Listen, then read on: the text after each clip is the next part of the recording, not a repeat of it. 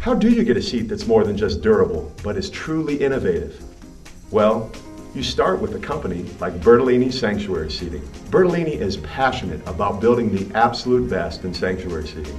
Over the years, they have consistently led the industry in creating new levels of comfort, style, and durability.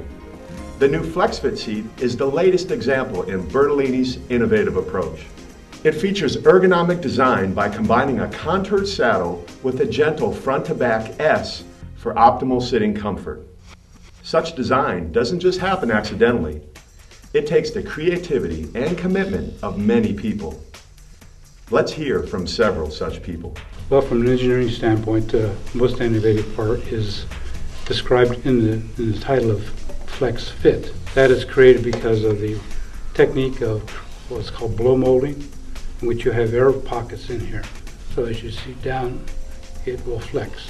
Now, the fit is determined because of the contour we have in the seat.